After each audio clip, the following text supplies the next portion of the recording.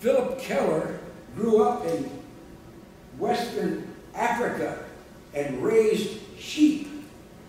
Became a pastor, and he was a pastor in this country for many years. And in the 1970s, he wrote a book called A Shepherd Looks at Psalm 23. And he gives a lot of insights and ideas about this passage that we don't normally encounter Uh, in our thinking today. A shepherd looks at Psalm 23. This is probably the most, absolutely the most favored and well known, often quoted passage in the whole Bible. Sadly, the only time you hear it is at a funeral. It's not meant for a funeral, really, though it's appropriate. I mean, it says some good things. But this song is not about dying. It's not about death. It's about living. And it's about a relationship that you have with your Savior, Jesus Christ. Reading from Psalm 23, The Lord is my shepherd. I shall not want. He makes me lie down in green pastures. He leads me beside the still waters. He restores my soul. He leads me in the paths of righteousness for his name's sake. Can't tell the difference, can you? I'm not going to read it again. It's so well, known to us.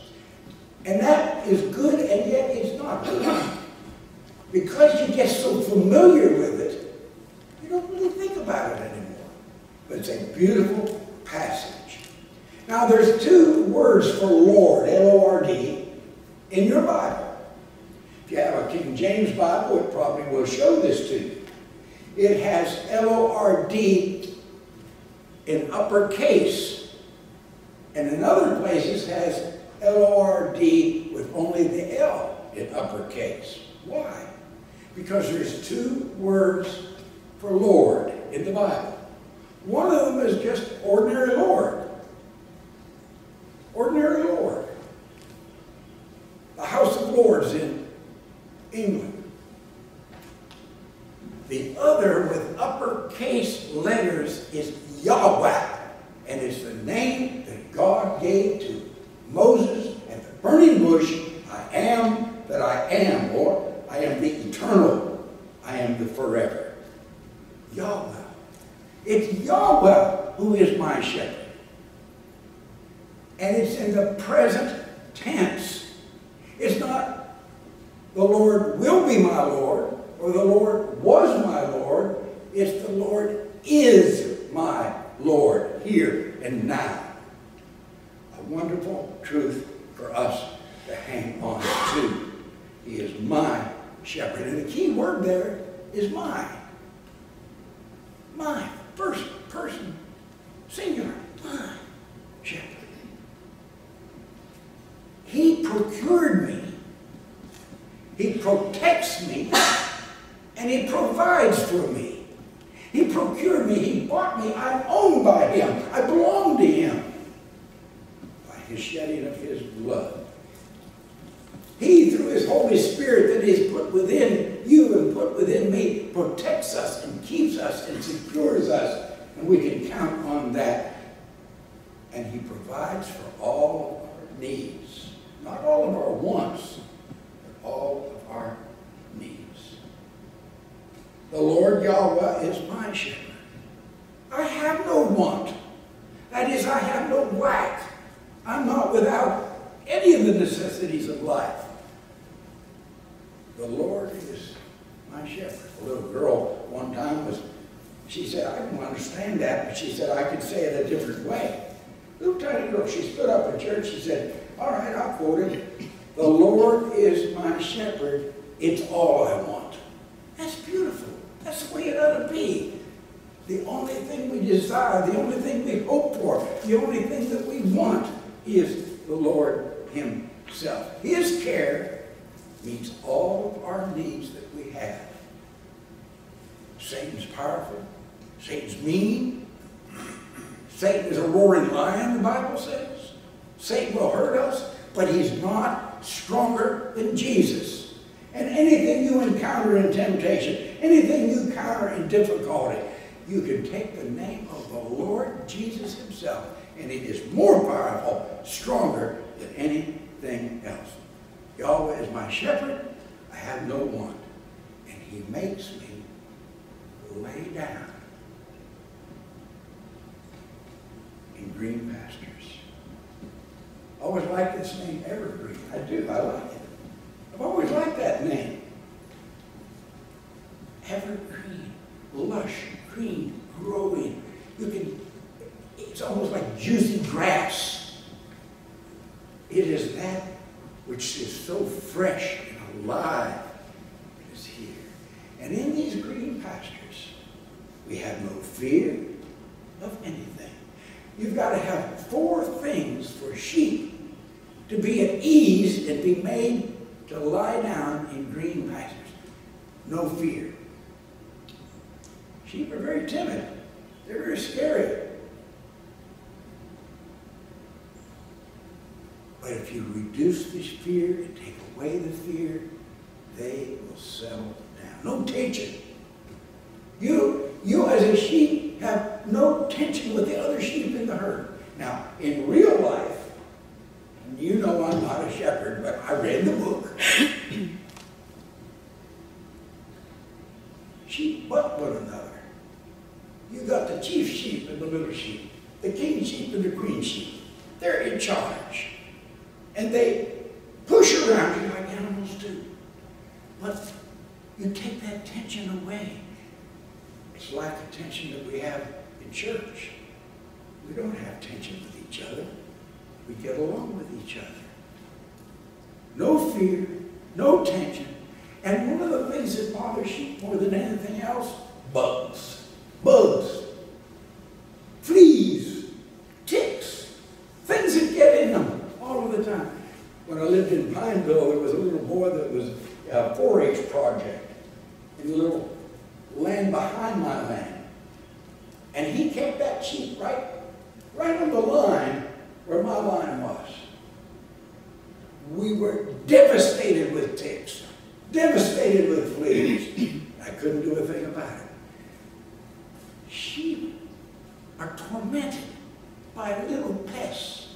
You take away their fear. You take away their tension with other sheep. And you take away their pests. So the shepherd would anoint them with their oils, with their medicines, and get rid of the pests. The last fear thing you, you have to take away from the lack of food. A hungry sheep is not going to lie down in green pastures. But if they have no fear, if they have no tension with the other sheep, if they have no pests, and if they're not hungry, they're well fed, they will just lie down in green pastures. But being timid, they're scared of water. They have rest by still water, gentle water. Bubbling, turbulent water, they won't drink it.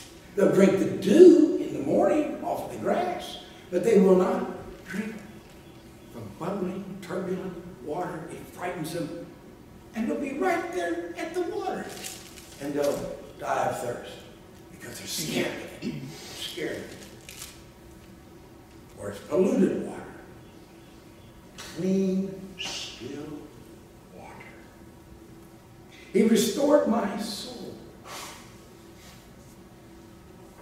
Sheep have little short legs. They can get very fat. And they can get in the mud. And sometimes they get down in that mud and they fall down and they begin to roll over. And if they roll over, they can't get up. They will die because they can't straighten up and be like sheep ought to be. And so this shepherd, when he he saw them, he'd take his crook and he'd pull them up so that they could up and be happy sheep. They call those cast, C-A-S-T, cast sheep, if they can't get up. But he's always ready to rescue the sheep. He's always ready to save the sheep. Jesus Christ, the Good Shepherd, is always ready to rescue you from everything, no matter what it is. What's troubling you? If you're a cast sheep, a cast Christian, a cast church member, and you're in the mud, he will retrieve you and bring you back up. And why does he do this? The Lord is my shepherd. I have no wants. He makes me to lie down in the green pastures, green, luscious green, to rest by the still waters. He restores my soul by picking me up on my feet again. Why does he do it all? For his name's sake.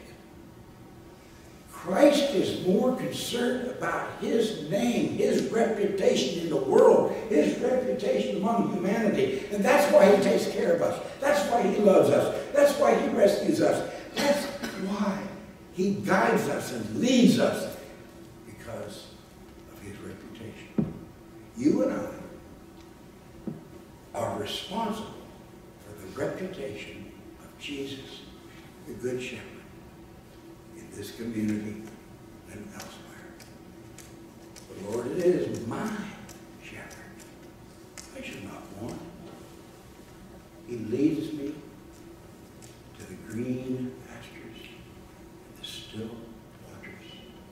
He leads me in paths of right living, paths of righteousness, for his name's sake. Thank him for being our good shepherd. Thank you, Randall. He didn't do it. Heavenly Father, we just pray at this time as we come before you, thanking you for being the good shepherd, the kind shepherd, the loving shepherd, the one who gave his life to buy us, to purchase us, to bring us into his kingdom. We thank you for that. Help us, Heavenly Father, to live in such a way, to act in such a way, that we will protect the name of Jesus the Christ, now and evermore.